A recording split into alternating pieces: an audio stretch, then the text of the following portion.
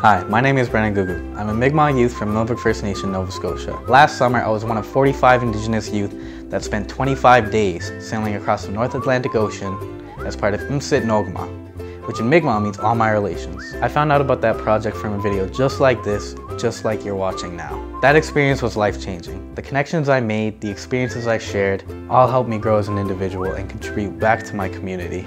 I stepped out of my comfort zone to hear other perspectives and apply them to my own. I'm here to tell you about a similar opportunity.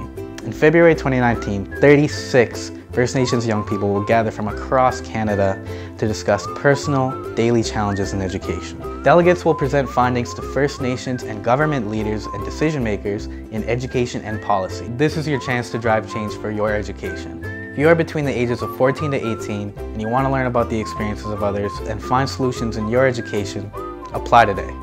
Delegate expenses will be covered. Our website is www.threethings.ca. Three the number. Visit today to learn about how you can put your name forward to be one of the 36. I hope to see you in February. I'm Sid Nogma.